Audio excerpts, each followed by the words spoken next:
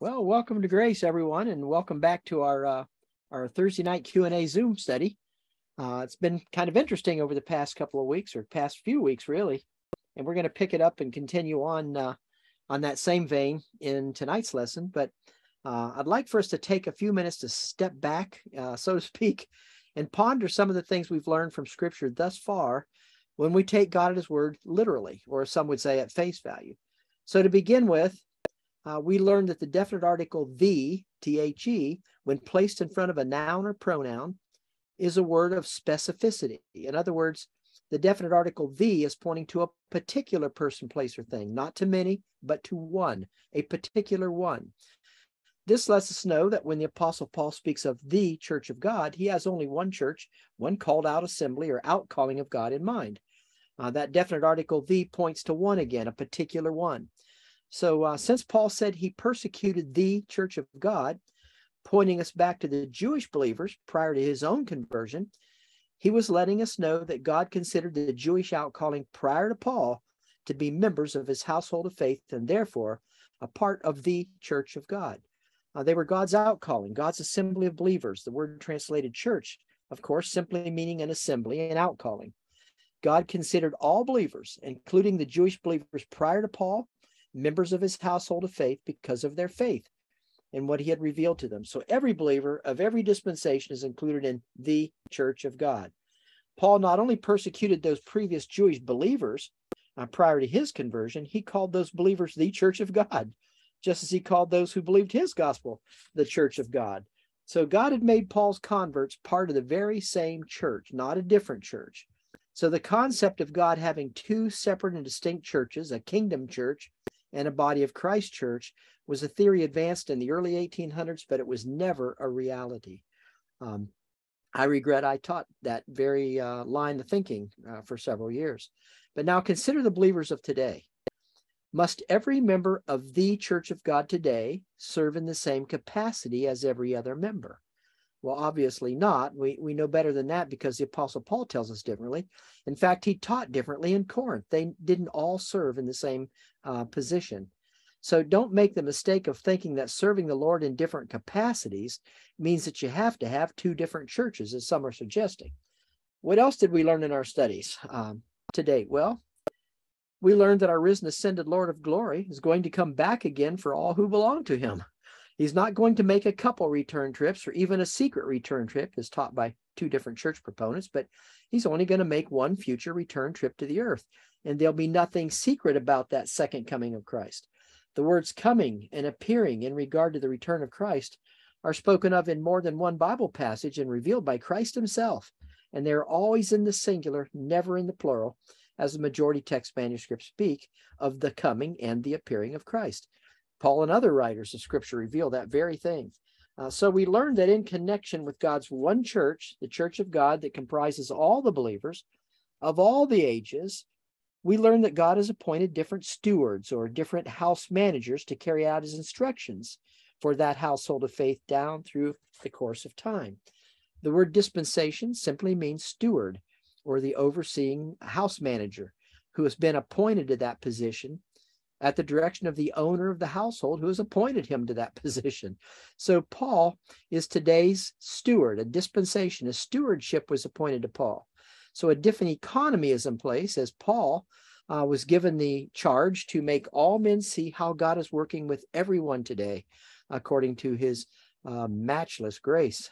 Well, the steward God has appointed over his household of faith, the church of God, shifted from Peter to Paul when God ceased dealing with Israel on a national basis and began dealing with all people alike on an individual basis. Uh, so we know that there was no transition period before the changing of stewardships. When God decided it was time to, ch- to appoint a new steward, he appointed that new steward. Something else for you to ponder to ponder is that there will only be one additional house manager present on earth over God's household of faith in time future. And that house manager will be the Son of God himself, as believers prior to Paul and including Paul were anxiously awaiting his return. So God placed um, Paul in charge of setting forth the household rules in what Paul calls these last days until the return of Jesus Christ. God has placed all things under Christ's feet and gave him to be head over all things to the church, the church of God. Paul tells us that in Ephesians chapter 1, verses 18 through 23. So let's quickly review that passage if I can uh, get my slides to advance. Okay, beginning with 18 on Ephesians chapter 1. The eyes of your understanding being enlightened, that ye may know what is the hope of his, God the Father's calling and what the riches of the glory of the Father's inheritance in the saints, and what is the exceeding greatness of God the Father's power to usward who believe, according to the working of his mighty power, which he, God the Father again, wrought in Christ, when he raised Christ from the dead and set him at his own right hand in the heavenly places, far above all principality and power and might and dominion and every name that is named, not only in this world, but also in that which is to come and the word world there, as we're going to see, is the word uh, aeon or aion, which means age, not only in this age, but in the age to come. Verse 22 And God hath put all things under Christ's feet and gave him, Christ the Lord, to be the head over all things to the church, singular, which is his body, which is Christ's body, the fullness of him that filleth all in all. So God the Father has given all power and authority to God the Son over God's household of faith. And it was Christ over everything, actually. And it was Christ, the visible manifestation of the invisible Father, the Son of God Himself, who appointed the Apostle Paul to be the earthly house manager over God's household of faith in order that Paul might make known to all men what God wanted all men to know prior to Christ's return to the earth. So the Bible describes Christ's future return to the earth as his second coming, not his third coming, not even a secret coming, but his second coming, according to the writer of the letter to the Hebrews, who, although not Paul himself, was an obvious fellow worker with Paul, and he knew Paul's message quite well. In fact, his epistle or his letter is full of Pauline doctrine. Notice his statement in Hebrews chapter 9, verse 28 written according to Bishop Unger, the famous Bible chronologist, at the close of the Apostle Paul's ministry, somewhere around 64 AD.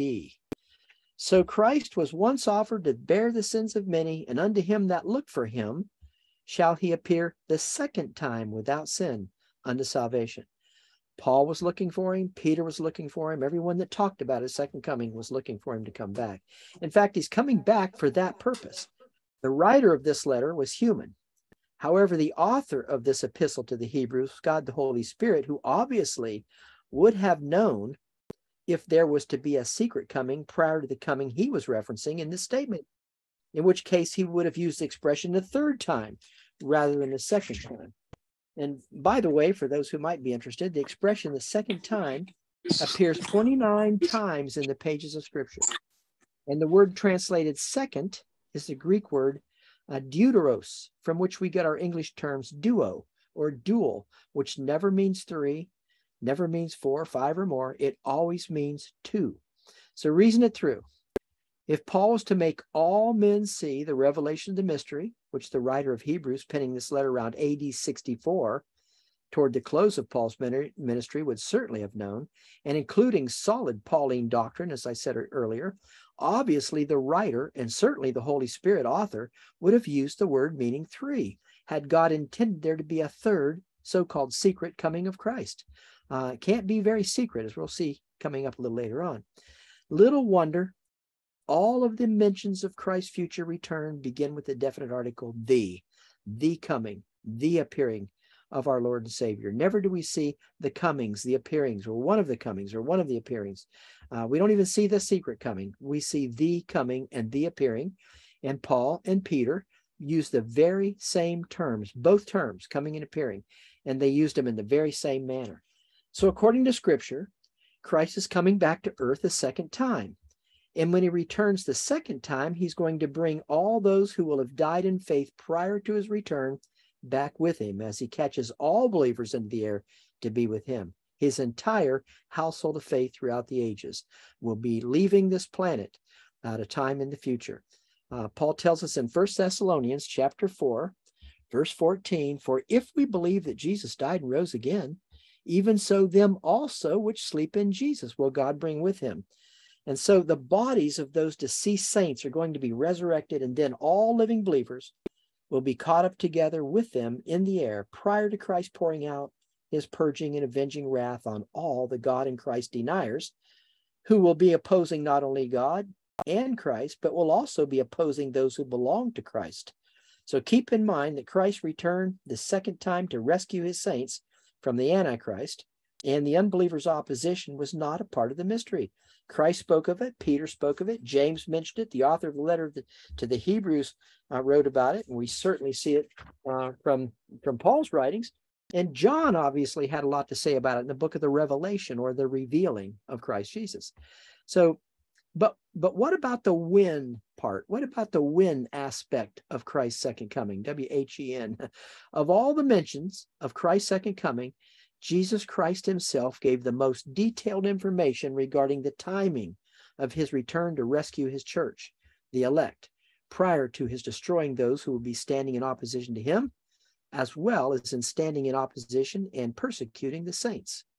That information sits in Matthew chapter 24, verses 3 through 32, along with Mark chapter 13, verses 3 through 37, otherwise known as Christ's Olivet Discourse. So, taken together with Daniel's prophecy, Paul's writing, and the book of the Revelation, that gives us a broad picture of Christ's second coming. Some of you may be familiar with Christ's teaching about the last days. Um, and as you'll recall, hopefully, Christ was on the Mount of Olives teaching his disciples when they asked this all important question. You see, they had known that Christ had said he would return, he would come again. But what had they not known? Well, they hadn't known when. So they decided to ask him that very thing. Here it is in Matthew chapter 24, verse 3.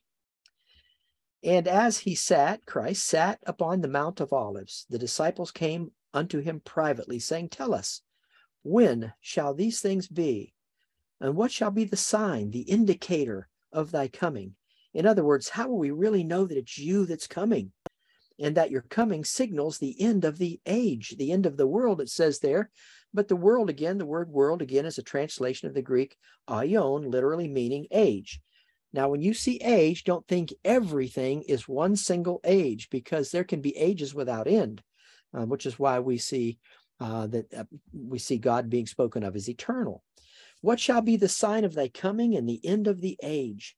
The end of what age, we might ask next? Next, well, the end of the last days, uh, the last times the Bible speaks of. In other words, the last days in connection with the last day, uh, which would be the end of the age. I'm sure you recall the Apostle Paul's words in 2 Timothy chapter 3, verse 1, where the apostle wrote, This know also that catch it here in the last days perilous meaning difficult dangerous times uh, shall come. Well we see that don't we even now? Uh, and as far as this country is concerned we see it more than we've ever seen it in our, our past here james told his listeners you have heaped treasure together for the last days. Um, that treasure being negative treasure james was telling them. Uh, so james knew about the judgment to take place on the last day. You see, the judgment seat of Christ is to take place at Christ's second coming, according to Paul. Peter spoke of the very same last days in 2 Peter chapter 3, verse 3, where Peter wrote, knowing this first, that there shall come in the last days scoffers, walking after their own lust. Boy, it sounds like a lot like Paul in 2 Timothy 3, chapter 1, doesn't it? And that's because these three men were not talking about different last days. They were talking about the last days. You see the definite article there. They were talking about the last days leading up to the last day and Christ's second coming. First and foremost, to rescue his saints out of that time, to be immediately followed by the pouring out of his wrath on the Antichrist and his unbelieving minions, who will be persecuting the saints, his saints at that time. But going back to Matthew chapter 24 and Christ's Olivet discourse, where he was revealing in an, in an overview of sorts, he's giving kind of a, uh, short as it is, an overview of sorts uh, the, of the sequence of events as the last days culminate in the last day, during which his return, his rescue of his saints, and his judgment on the unrighteous will all occur on that very same day. Remember, his disciples were asking him the when question and what would be the sign, the signal that it was actually his coming rather than something else. Now, think about that for just a moment. Halfway through the seven year tribulation period, Satan, along with his rebellious angelic force, is cast out of the stellar realm by way of his battle, by way of their battle with Michael and God's elect angelic fighting force. Satan knows his time is short, the Bible tells us, and he's wroth. He's very angry. And he indwells the man of sin, the Antichrist, who moves into the temple halfway through the tribulation period and proclaims that he is the true Christ, during which he will be performing all those lying signs and wonders in an attempt to actually convince people that he is indeed the true Christ. I think many will, will fall for that ploy uh, in that time. But what did the Lord tell the saints dwelling in the land to do when this prophesied time arrives? Well, let's return to Matthew chapter 24 and Christ's Olivet discourse to find the answer. Here it is in chapter 24, beginning with verse 15. When ye therefore shall see the abomination of desolation, spoken of by Daniel the prophet, stand in the holy place. Whoso readeth, let him understand. Now, we know that the Greek ruler called Antiochus IV, who called himself Epiphanes, which means the illustrious one or God manifest, did that very thing when he desecrated the temple in Jerusalem some 200 years prior to Christ's Olivet Discourse. So we know that Satan was at work way back then. In fact, Satan's adversarial battle against God actually began in the garden. But we're told that Antioch IV set up an altar to Zeus over the altar of burnt offerings, and he sacrificed a pig on that altar. Historians also relate how he slaughtered a great number of the Jews and sold others into slavery. In fact, he required the Jews to sacrifice to pagan gods. However, Antiochus IV did not enter into a covenant with Israel for seven years. And Antiochus IV came prior to Christ's Olivet Discourse. So he's not speaking of that here in Matthew 24, Christism. Then there are those that believe that Christ was speaking about the events leading up to the destruction of Jerusalem in AD 70 at the hands of Titus. But was that event a fulfillment of Christ's words in his Olivet Discourse? Keep in mind that his disciples asked him when the end of the age would come. And Christ's answer in his own Olivet discourse goes much further than those two events we just mentioned, as we're going to be seeing as we continue our lesson here. Let's return to where we left off in Matthew chapter 24 with verses 15 and 16 once again. Here we read, When ye therefore shall see the abomination of desolation, spoken of by Daniel the prophet, stand in the holy place, whoso readeth, let him understand. Then let them which be in Judea flee into the mountains. Let's pick it up with verse 17. Let him which is on the housetop not come down to take anything out of his house, neither let him which is in the field return back to take his clothes. And woe unto them that are with child, and to them that give suck in those days. But pray ye that your flight be not in winter, neither on the Sabbath day. Now, you probably noticed that in that very first passage you read, it said, Let them which be in Judea flee to the mountains.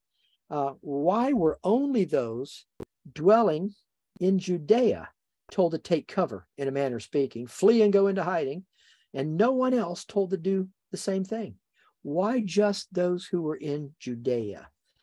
Well, we, you can see the Mount of Olives there, uh, just standing just above Jerusalem uh, to the just to the right and just barely above the city of Jerusalem. And uh, so the Mount of Olives was in Judea.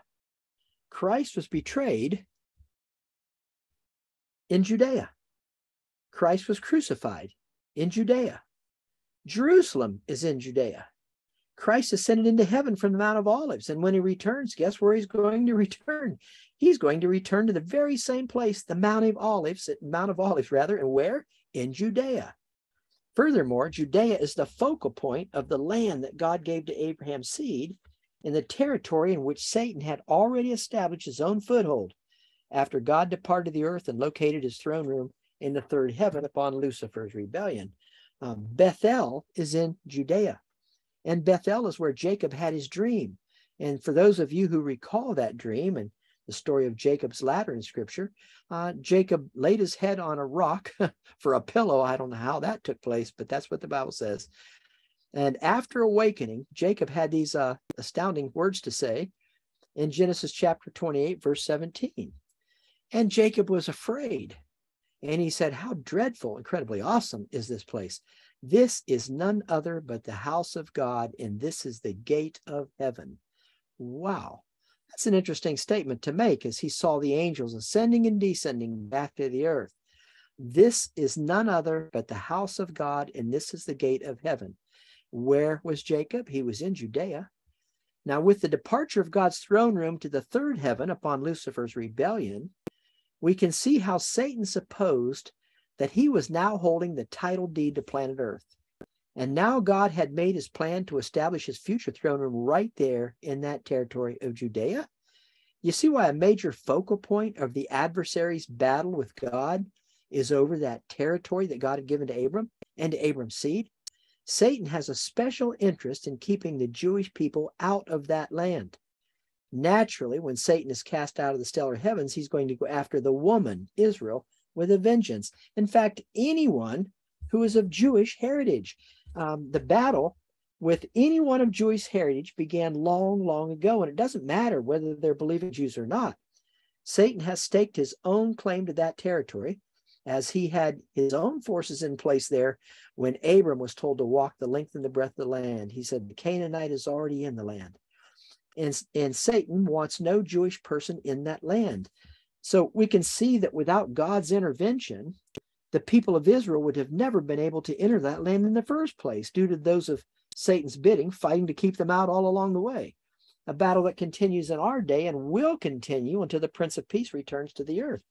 So notice Christ's words in Matthew chapter 24, verses 4 and 5. And Jesus answered and said to them, Take heed that no man deceive you.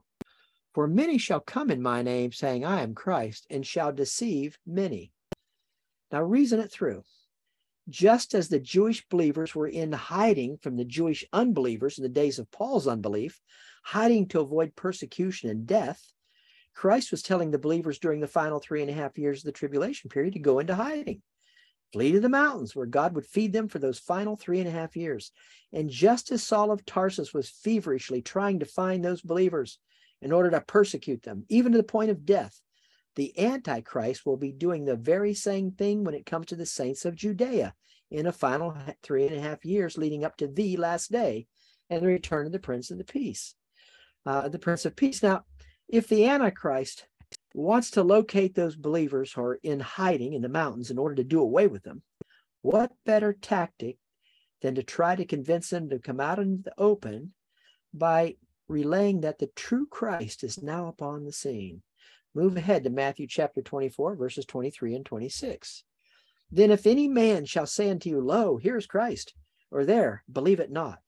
For there shall arise false Christs and false prophets, and shall show great signs and wonders, insomuch that if it were possible, they shall deceive the very elect. False Christs and false prophets, at whose behest we might ask? The Antichrist, of course, as he's indwelt by Satan. I like those words, if it were possible, because I don't believe it will be. Keep reading verses 25, 26. Behold, I have told you before. Wherefore, if they shall say you, Behold, he's in the desert, go not forth. Behold, he's in the secret chambers, believe it not. How will they know not to believe the lies of Satan, the Satan indwelt dwelt Antichrist, who's trying to lure them out into the open? Christ is going to tell them in his Olivet discourse the signs of it, the sign of his coming. But first, let's return to that Olivet, Olivet discourse where Christ is describing the events at the entrance of that final three and a half years of the tribulation period, beginning with verse six, keeping in mind, of course, that the wrath of Satan, as will be exercised uh, by way of the Antichrist in, in the uh, last days, the last part of that tribulation period, is not the wrath of God. The wrath of God doesn't come until Christ returns and displays that wrath. Up until that time, he simply allows the Antichrist to do what he's doing.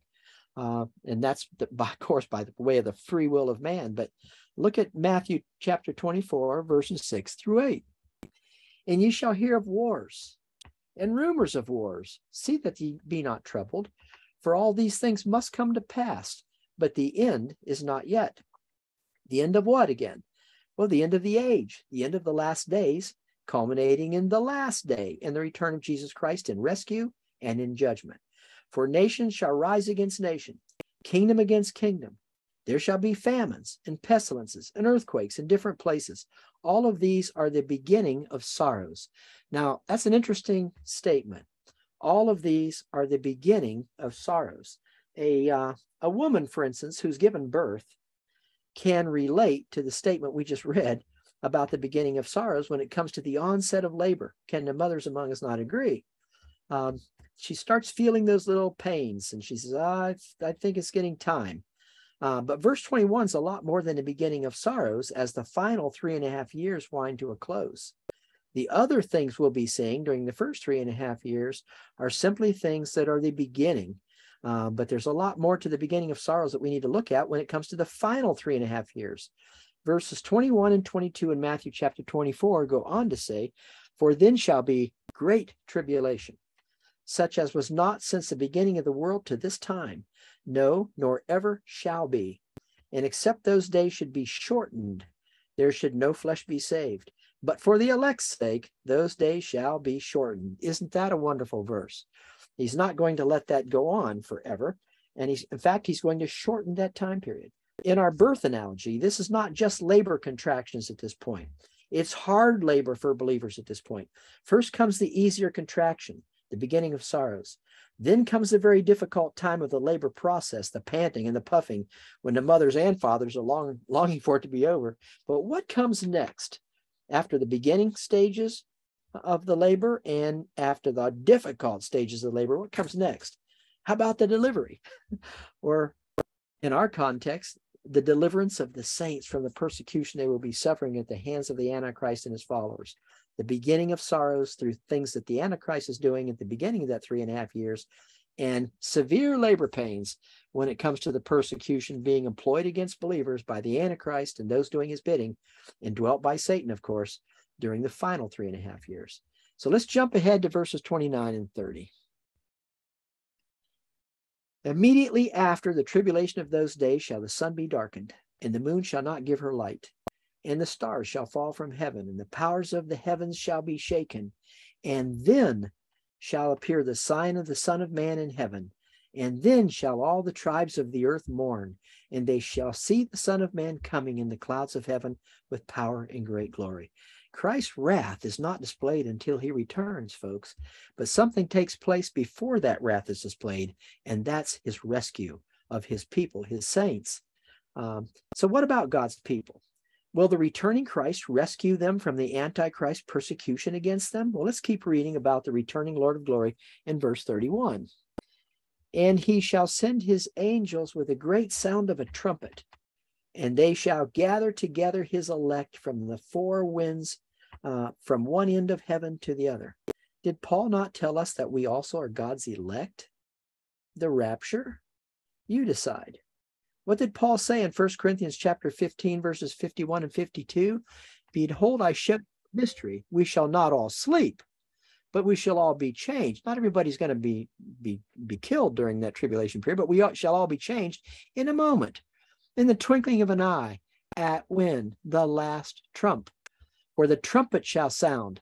What did, did Christ say in Matthew 24? A great sound of a trumpet the trumpet shall sound, and the dead shall be raised incorruptible, and we shall be changed. What happens at that great sound, according to Christ in Matthew 24?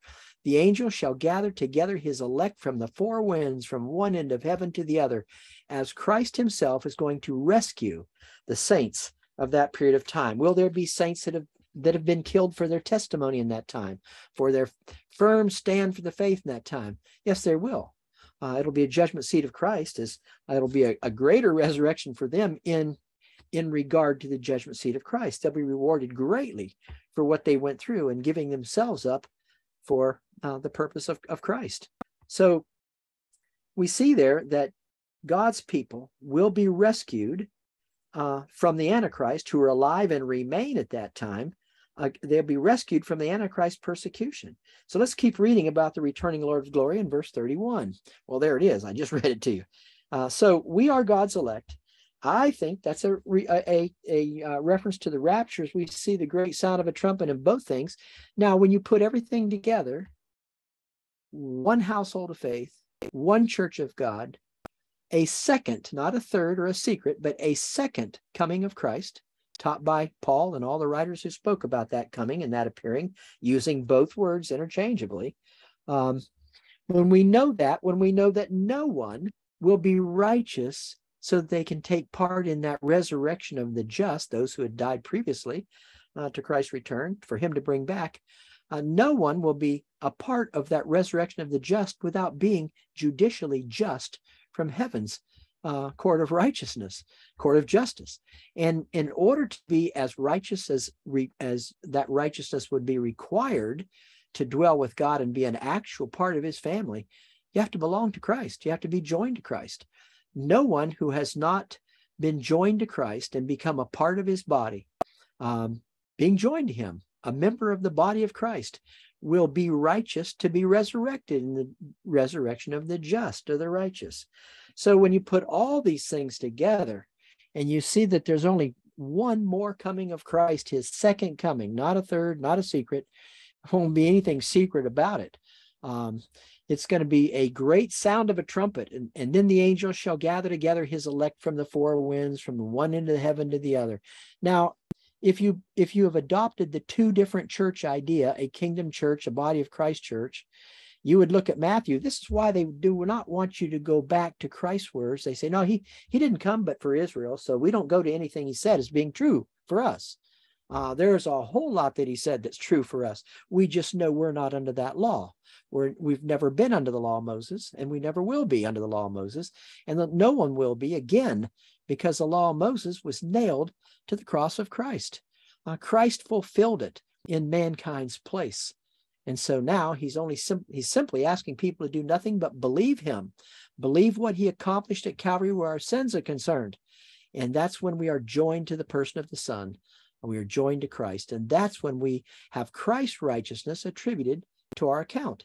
But notice the wording once again from Christ and from Paul. He will send his angels with a great sound of a trumpet, and they shall gather his elect from the four winds. First Corinthians, Paul says, I'll show you a secret. We're not going to die. We shall all be changed in a moment, the twinkling of an eye, at the last trump, for the trumpet shall sound. The dead shall be raised incorruptible, and we shall be changed. So this is a this is an amazing thing here uh, that we see when we accept that we we take the Bible literally, we take the grammar in the Bible literally. Uh, are there things that we would prefer be said maybe a different way? I'm sure there are a lot of people that would say that, but the people that are so adamantly opposed to the reality of resurrection are the people that hold true and firm to the inerrancy, total inerrancy, actually to the point of being um, inspired themselves, inspired translators, uh, that every single word in the King James Bible, 1611 edition, is true. Uh, well, we could see that uh, if they're going to say that, then they've got to believe that. And if they believe that, they'll look at the grammar and look at the as a word of specificity. They'll look at uh, the single coming. Uh, they'll look at the second coming instead of us instead of inventing a secret coming. Uh, but you can see how inventing that secret coming um, takes anyone who believes today, any professing believer, um, uh, in their minds to a place of safety. We don't have to worry about that because we won't be here, they say. If we won't be here, then Paul wouldn't have even had to speak on it, or he could have said so. We won't be here, so don't worry about this. Uh, he told them he had already taught them about these things, and that that day would not catch them as a thief in the night. And he didn't say it won't catch you as a thief in the night because you won't be here. They will know about it. Now, will they know the day and the time and the hour when he's coming? No. In fact, he just said, unless he cut the, that time short. Do we know when that is? No, we have no idea. So we don't know when he'll come, but we know that he gave the saints in Thessalonica, Paul did, some things to look at uh, that would have to happen before Christ's second coming. So immediately after the tribulation that's coming, tribulation period of time, and Paul said, we we must through much tribulation enter the kingdom of God. Not a little. We know the we know of all the saints that have given their lives, the the um, the folks that became martyrs for the cause of Christ throughout history. And uh, we know the, about Paul and what he went through. And Paul was willing to go through it for Christ's sake. Uh, because of what Christ did for Paul, which would last throughout eternity, Paul was willing to go through the second of his uh, disappearing from the body that he was in. So the sign of the Son of Man appearing in heaven is going to give them cause to know for certain that it's Christ that's coming back. And they're going to see the Son of Man coming in clouds, uh, clouds of heaven with power and great glory when that day arrives. So, um, Paul's statement about a mystery is true. Um, boy, I, I like that statement, but thanks be to God, which giveth us the victory through our Lord Jesus Christ. That's First Corinthians 15, 57, and 58. I might have that. There it is. But thanks be to God, which giveth us the victory through our Lord Jesus Christ. Therefore, my beloved brethren, be steadfast, unmovable, always abounding in the work of the Lord. For as much as ye know that your labor is not in vain in the Lord. So, interesting things here in our studies, things that uh, you might not have pondered in your earlier days, and uh, the movement, so so-called movement of right division. It is a movement uh, of right division, but it's not correct division when we take the Bible literally and especially when we assume that the King James translation was actually inspired, the translators were inspired, which they made no claim to be at all. In fact, if you take the King James 1611 and blow it up enough times to read the entrance to the King James 1611, where the translators spoke about themselves, they never claimed inspiration as did the original writers of the autographs. They never claimed inspiration. Uh, the King James translator said they did the best they could with what they had. They never intended to make a bad translation better. They just did the best they could with what they had. So, and one other thing I want to quickly say uh, before we before we uh, close this lesson out is some people have a problem with saying the word Jesus or saying the word Christ. They say that's not God's name. Uh, in fact, there's a movement uh, that's been in place for some time, uh, churches, I, I, guess, teaching this, that say, do not say Jesus because you're using a different name. And they claim that um, Constantine in AD 313 changed the written word of God. He changed it and corrupted it. So now we have the written word with the name Jesus and Christ in it, which are not God's name. Jesus was never God's name, they say, and Christ was not the Son of God's name. Um, so, you know, what do we say to that? Well, if I ask you to say a word over and over and over in your mind, dog, say dog over and over, dog, dog, dog, dog, dog, dog. It's just letters, it's just sound coming from your voice, sound. But what gives meaning to the sound? Well, sound is for a purpose, and the sound is to take your minds to what's behind the sound. The sound is to turn your minds toward what those sounds are speaking of the essence, the character, the meaning of what the sound is making. And so to say that we can't say the word uh, God because it's not God, it's, it's, uh, well, they, they go on to say it's um, Yeshua and his son uh, and they even say that Yeshua. Well, you, could we would we complain that that was never in the Bible? No, we couldn't complain that was never in the Bible, but it's not the same in every language. That was the same in Hebrew, but it's not the same in every language. And I was given a nickname, for instance, when I was young and in Ohio for a summer. They didn't call me Curly. Well, that was another nickname I was given by those folks. And they never called me Curly. They the ones that didn't call me Curly called me Corky. So I was Corky. It was an affectation for me. It was speaking of me, not of someone else. When they said Corky, they had me in mind. When they said Curly, they had me in mind. Uh, the word God actually comes from the German Gott, which means the all supreme one. So yes, we could say God, uh, and if it depends on you know what you're calling him, depends on the language and how that language is changed, and what designation has been given the meaning behind which is the person behind the name. When when Moses went to rescue the children of Israel from the land of Egypt, their captivity, he asked God the Father, and we're told to call him Abba, Father.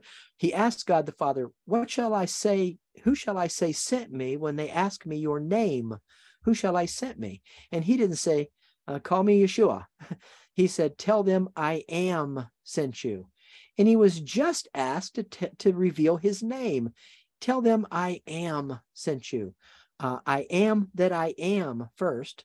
Uh, uh, the word that that statement meaning eternal, the God who always was, is now, and always forever will be. That's I am. I am that I am. But that's what he told them to say when they asked his name. He didn't say, Well, tell them Yeshua sent me. Uh, no, or sent you. He said, Tell them I am sent you. Uh, so um, we also see that God had compound names. God was never uh, the supreme one, uh, the ultimate supreme one. God was never his name. Uh, God is who he is. God is the essence of who he is, the supreme one, which is what the word Gott in German means. So people would have a problem saying it's all a false religion.